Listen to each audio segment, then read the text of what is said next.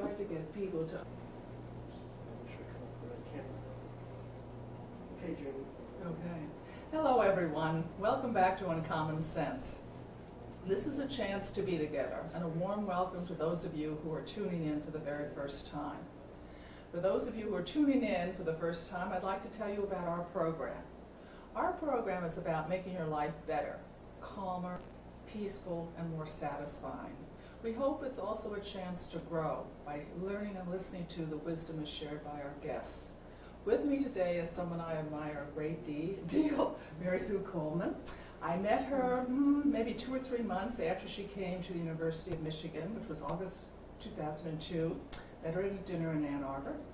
And I have admired about her several things. Um, her enthusiasm, her comprehension, her energy, and her ability to um, see things through. She is our current president of the University of Michigan. Prior to that, she was president of the University of Iowa. She has her PhD in chemistry from uh, the University of North Carolina. She has done work in Cancer Institute on immunology, immune systems, which interests me a great deal. And uh, she is also professor of biological chemistry at the medical school at the University of Michigan and professor of chemistry at SLNA, which stands for something, something in arts. Literature, science, and the arts. So literature, SLNA, science, literature, and the arts. Well, welcome, we're very thrilled you're in Midland. Thank you. She is in Midland to uh, better learn our community, but also have Midland better learn the University of Michigan. I was very interested in science. There's much talk about women getting interested in science, and clearly you did at a very early age. What interested, what drew you to that subject? Well, I was fortunate that I came from a family that really valued education. My father's a chemist and taught chemistry at a university. And I just gravitated to science when I was in junior high school, and I was really fortunate because I was in junior high school at a time when Sputnik was oh, launched. Oh, Yeah. And there was sort of a national obsession in the U.S. about encouraging young people in science because the U.S. was so worried about losing the space race. And I was offered all sorts of opportunities for summer programs, for lab work when I was in high school, science fairs. It was great fun. And uh, I really was able to follow a passion and did that all the way through college and graduate school and, and the early part of my career. And so I absolutely loved science and loved the fact that I was doing something that had relevance to human disease. What drew you then to administration?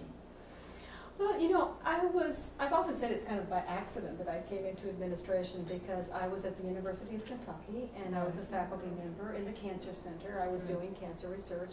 Very happy. I had a lab, I had graduate students, postdoctoral fellows. My work was going well. But one day, the university administration came to me and needed someone to help administer the Cancer Center. And so they wanted me to come help for just a few months. I thought this was going to be temporary. And I wasn't sure that I wanted to do it, but agreed to help. And actually, when I got into it, I discovered that it was a very different part of life Yes. because I could have an impact on a bigger organization than just my lab or just my little area of research, and discovered that really I had an appetite for it. And uh, stayed much longer than I had thought, and uh, in fact, then left the university and started this career that ultimately ended as the university president. Hmm. Quixotic. Life is quixotic. Well, isn't it is, and, and, and, you know, I, I, I've often thought about that many things that happen to you in life are by Yeah. accident. Right. You either take the opportunity or not. I took this, this chance because it was something that I discovered that I liked, and I'm very glad that I did. Um, I noticed in your address to the Regents Mhm. uh, of April of '04, which was sent to me, that you used something that I often talk about on the program. You talked about that sometimes issues are chosen for the president, right? Yes. Sometimes the president has the option Right. of concentrating on the Mhm. issues she or he Mhm. prefers. Right. And I always feel that's the way it is in life. You know, you make your plan, you know, and then you have options that are happen. positive or Mhm. challenges that are, you know, more, more engrossing differently. What of your scientific training did you bring was useful in your new role as an administrator? Hmm, Well, I happen to believe that uh, training and education as a scientist and running a research lab gives you many skills that you Mhm. can use as, as an administrator, because I had in my lab always ten or twelve people. So I had to learn about personnel policies, I had to learn how to select people to come into the lab. I had to obtain grants, so I had to learn how to write well and to convince people that my ideas were good ones. I had to do strategic planning, because if I didn't, I would never get another grant. So I needed to be very strategic about my work. Uh, I needed to learn how to run budgets because I had to budget for my laboratory and stay within the budget that we had. Um, I had to learn how to write papers, to give talks, to convince people that it was worth investing in my laboratory. So there are many skills that you learn Mhm. that are transferable. And I, and I also am very data driven. I like to look at evidence, and uh, when I'm evaluating something, I want to know, well, how can we tell whether this is working? So I think that those skills are ones that have worked well for me. Mhm. How, what did you find was useful in the selection of people to work in your lab? Uh, Well, uh, depended on what it was that I was uh, recruiting for. you know, whether it was a graduate student or whether uh, technician. Uh, I always liked people who took great responsibility for what they were doing, that they understood that their work was more important than simply for themselves, that the group depended on them, and that we had different roles in the laboratory, and that we had to rely on each other Mhm. almost nobody's totally independent. Uh, I like to get people who were collegial, Yeah. but sometimes they weren't, and we, Right. we were able to manage that. Yeah. Um, You know, and I liked people to be highly ethical. I, I, you know, I didn't want to have to worry about whether or not somebody was cutting corners, because that never pays off in science. It just doesn't. And uh, I tried to figure out ways to test whether or not those characteristics were ones that were, the people had that I was recruiting. Sometimes I made mistakes. I didn't recruit the right people.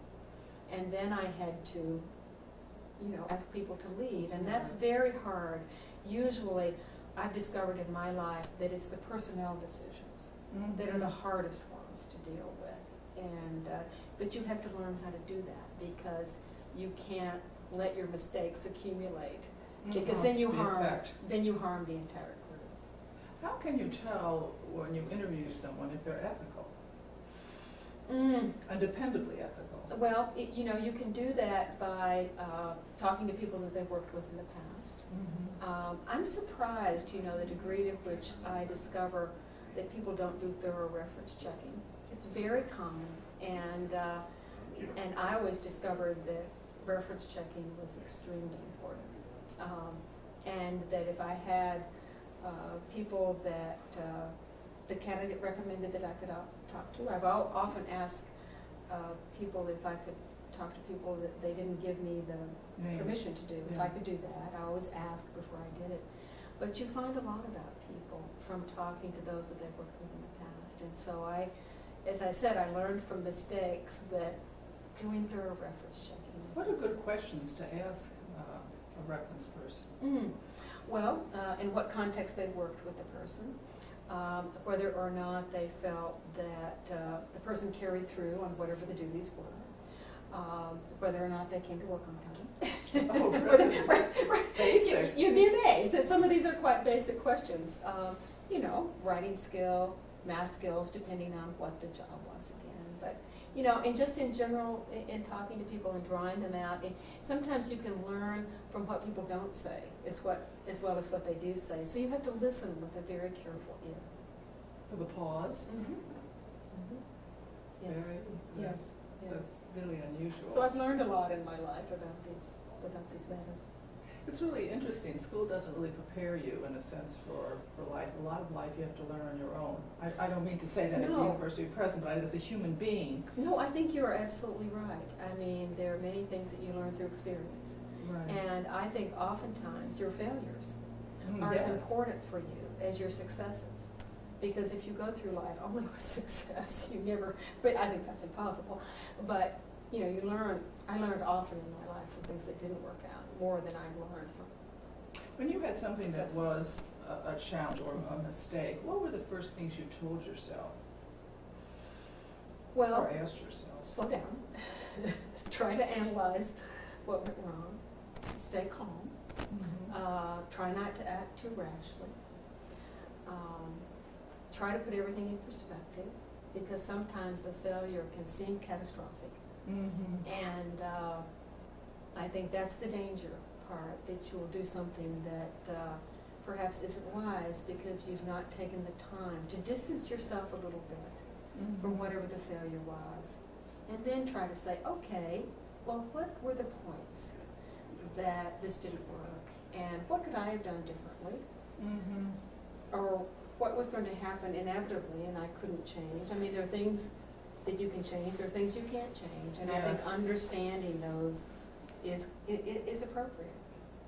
Do you ever, well, you must, but really check with someone else on a, on a, sort of get a, or in the past perhaps, get advice? And what role does that play in your thinking? I've been very fortunate in my life, uh, as I progressed, that I had some wonderful mentors, Right, both men and women.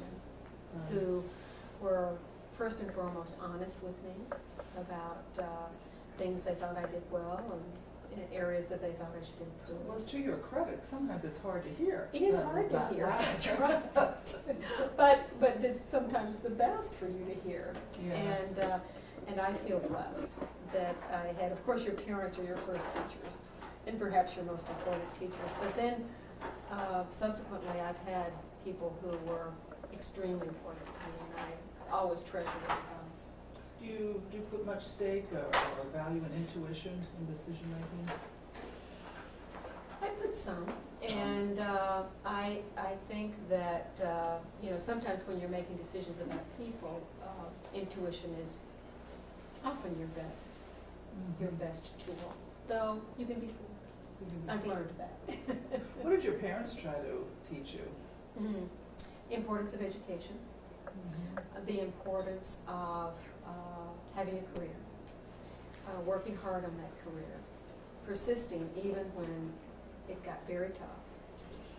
Uh, Going to graduate school, you know, getting a PhD, all those were hard and difficult things to do.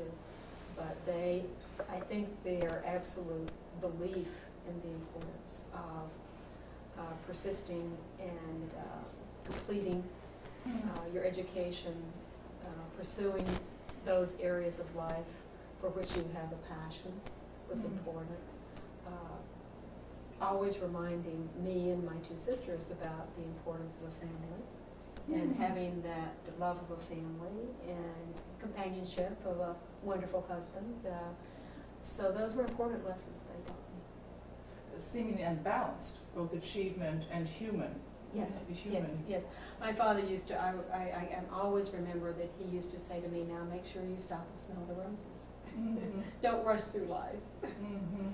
How does one make time for a husband in a job like yours, where you have to be so public, Well, so much know, of the time? I, I, I, I think, I always tell my colleagues, uh, choose your spouse well for this role, role, Right. because it, being the spouse of a president, I think is a very tough job.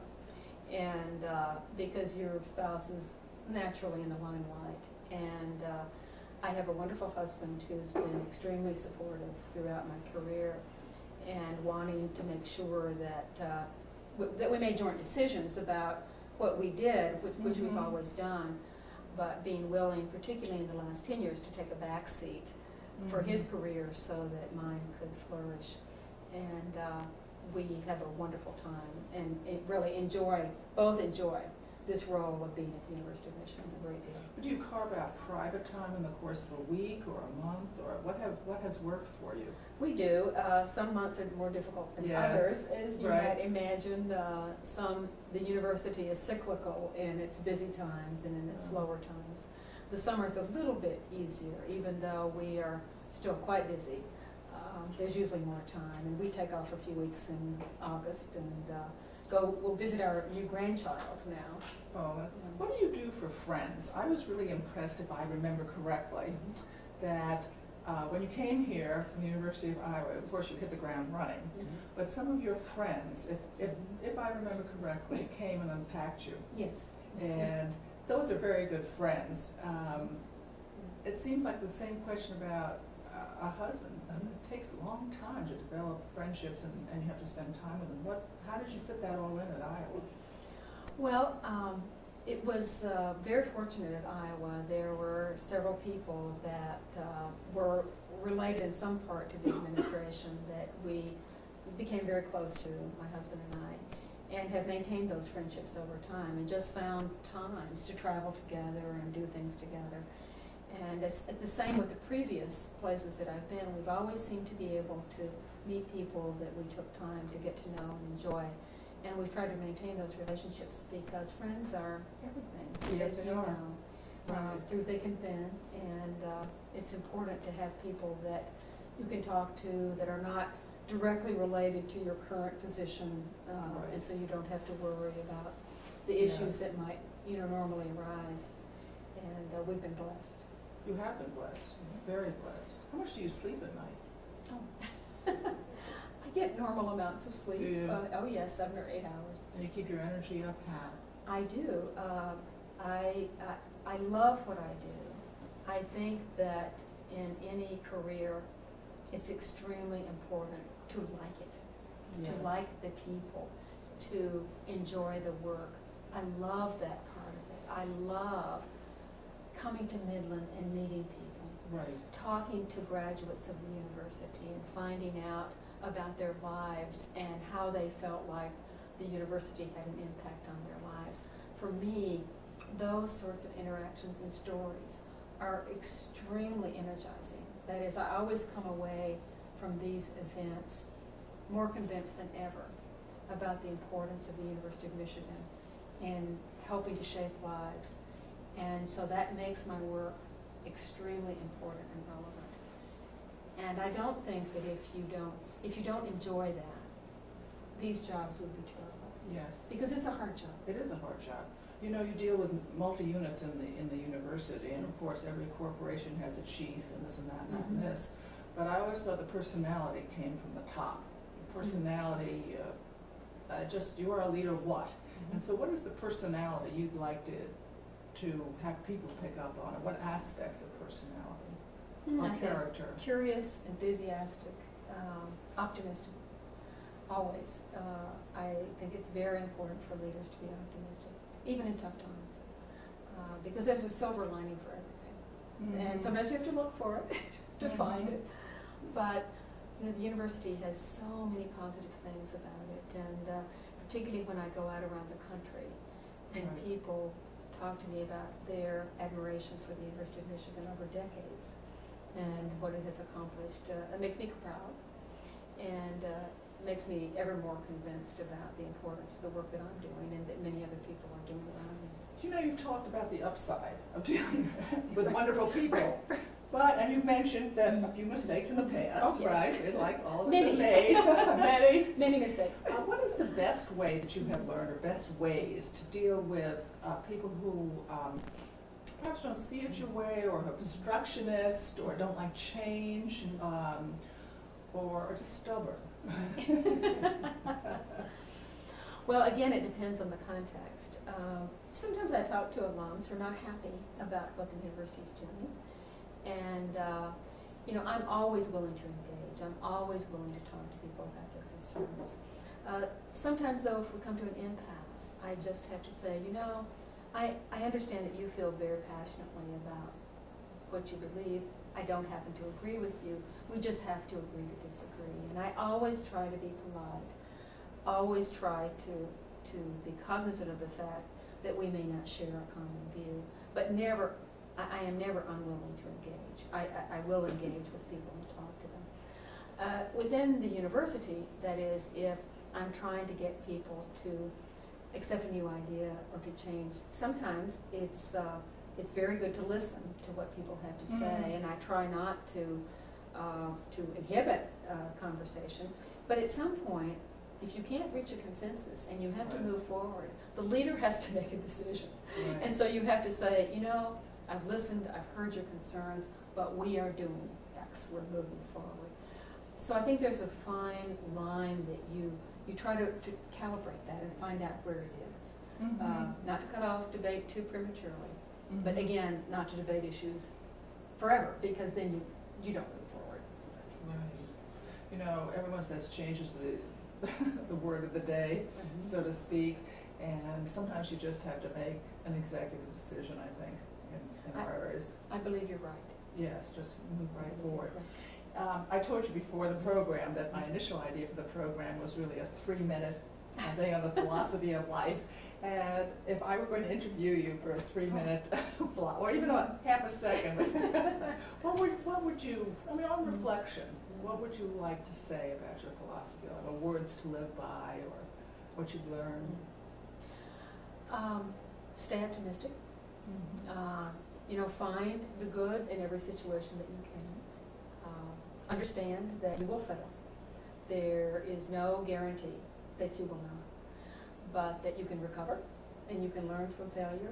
And the most important thing in life is to show up for work every day. On time. On time, right. I believe it absolutely. Um, uh, there was a scientist, you probably know the name of, perhaps not, named George Pimentel. Mhm. And George, um, George unfortunately got cancer and died, but I think he said at one point, he said, I wanted to be known that I always showed up on the, like, like the ball field, ready to play. And What a great attitude Yes. to- for people to have, or anybody to have, Mhm. uh, because it was so endearing and so necessary and so team-oriented Mhm. to do your part. It's necessary to do your part. I agree. Now, you have children, do you? We You have- must have, you have a grandchild. We have one son, and he's married, and uh, my husband and I were presented with a grandchild about three weeks ago. So we are extraordinarily excited about this granddaughter. She's just precious. How does that change your, your, your, um, what do I say, impression of the world now that you're a grandmother? Well, I'm getting used to it. Yeah. Um, I uh, find myself being very much more interested in traveling to Denver to see this grandchild than I used to be. You know, I, we Yeah. love to visit our son and daughter-in-law, but uh, I know that she's changing very rapidly now, and I want to make sure that I don't miss that. And so we, we go out uh, as often as we can just to uh, spend a day with her and, uh, and enjoy this marvelous and precious new life. Thank you. We want to thank Mary Sue for being with us today. We learned a great, great deal from her. Um, for one, it's good to have good parents who emphasize education, but even if you didn't have it, remember, emphasize education in your life and see it through. We also learned that life um, is a little bit perhaps luckier for you if you know early on what you want to do and you live in an environment that supports it. She talked about coming of age in the Sputnik era. era. Um, we also learned from her that um, every job can, can teach you something. She talked about running her lab and the things that she needed to learn. Uh, they have to do with grant writing, they had to do with writing, they had to do with personnel issues, they had to do with um, um, mistakes in all those areas. Um, she talked a lot about finding the silver lining in, in your mistakes. She also talked about personnel being such an important part of any job and the need to generously and deeply check references and listen for the words said and the words not said in order to um, really obtain as best you can an accurate view. She also talked about asking permission to uh, interview people perhaps not on the list as an approved person. Um, she took a risk by taking a, another job in administration and opened a whole new world for her, but she built on the skills she had developed in the lab. She found satisfaction in that because she felt she could help people more broadly that way. As a result of that, I think she herself, uh, I'm putting words in your mouth here, but she, I think, views herself more differently now, perhaps as a leader, well, you are, but as a leader of more, the potential of being a leader of more, and therefore helping more people and, and having a wider, uh, not only exposure, but a sense of, uh, of what can be done. Um, we talked a little bit about uh, energy. We talked about having good people in your life, like an understanding husband. She has an amazing husband um, that would support her her career um, opportunities. She talked about the luck of having friends in the, some of the colleagues she worked with in various places that supported her then and thereafter. Uh, she made time for family life. Um, I was very interested in the part of how you deal with people who disagree with you. Uh, she talked about the necessity of really listening, something like try to do in this program, and uh, trying to see their point of view. And finally, if you cannot find agreement, but just say, well, we have to agree that we see it differently. Uh, if you don't, if they don't work for you or in the organization, but in the organization, then at some point you have to make um, the decision. She talked about ethics, she talked about confidence, she talked about optimism, she talked about showing up for work, which is also very useful. Tells me about our times when you have to say that. Um, but uh, I want to remind you that what, what she's really talking about is to do your very best to see it through and know that in every life there are setbacks, so you too can see it through. And I wish you would take that with you in your life. I would also like to encourage you to, to um, take what Mary Sue has and that, that sort of cheerfulness, that warmth that you know that comes through. So thank you, Mary Sue, for being with us today. And remember, kindness counts. I was thinking the other day, how could I define kindness? And so this is what I say about kindness. Kindness is the best of yourself shared. Go out and do something for someone you know today and someone you don't know. We'll see you next time. Thank you for tuning in. Thank you, Mary Thank Sue. you. That was wonderful. Thank you. And welcome back to